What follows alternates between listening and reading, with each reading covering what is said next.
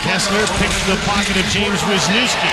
Burrows took a run, and that'll get something going here. Wisniewski wants to scrap Burrows, and here they go. And Burrows tackles him. Alex gets the takedown. I thought Burrows was going to get a penalty for the run that he took at Wisniewski, who had been run earlier this season by Matt Cooke. Well, here's how this one starts. Uh, Kesler has Wisniewski tied up, and here comes Alex Burrows with the hit. And Wisniewski didn't like that one little bit.